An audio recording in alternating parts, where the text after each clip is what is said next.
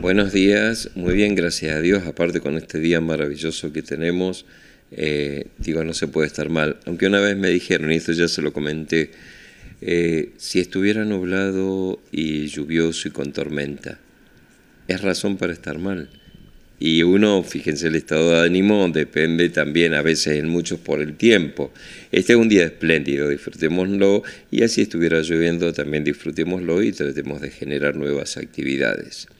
Bien, ¿qué tenemos para esta semana? Recuerden que como todos los viernes, este viernes se realiza el Via Crucis en la Plaza de Nuestra Señora del Rosario, calle Leritier, eh, yo creo que es 700, 800 aproximadamente. Ustedes vayan caminando por calle Leritier a las 21 horas y se van a encontrar con la placita de Nuestra Señora del Rosario y ahí se reza el Santo Via Crucis como todos los viernes y vayan preparándose el viernes que viene en la plazoleta, en la plaza de eh, Madre Teresa de Calcuta. Es decir, acá este fin de semana, para no mezclar, este viernes Nuestra Señora del Rosario.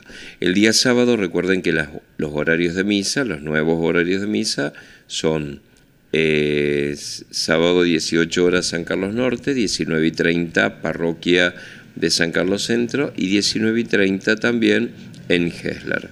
El día domingo, 8 y 30 parroquia, 10 horas San Carlos Sur, eh, 10.30 Estación Matilde, 18 y 30 San José Obrero y 19 y 30 parroquia. El día lunes es un día muy especial, es el día de la Anunciación, el día en que el ángel le anuncia a María que va a ser la Madre del Salvador y en que María le dice sí, y al decirle que sí, el Salvador ya está presente junto con todos nosotros, y el que ella dio a luz. Y una, cosa también curiosa, este día, hace mm, unos cuantos años atrás, eh, en uno de estos congresos internacionales, el doctor Carlos Saúl Menem decreta por ley este día, Día del Niño por Nacer para rescatar la importancia de la vida en gestación.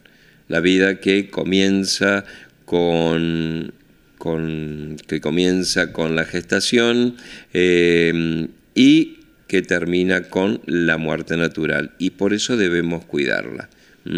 La, cuidamos la vida desde su concepción hasta su muerte natural. Por lo tanto, este lunes 25 a las 20 horas va a ser la misa pidiendo especialmente por todas las embarazadas, todas las mujeres embarazadas, y va a haber bendición de embarazadas y va a haber bendición de niños también, porque queremos a toda costa reflotar esto que no sé por qué motivo a veces perdemos, que es la inocencia, la simplicidad de vida, la capacidad de perdón y sobre todo en este tiempo de cuaresma que es tan bello eh, que nos permite reconciliarnos los unos con los otros.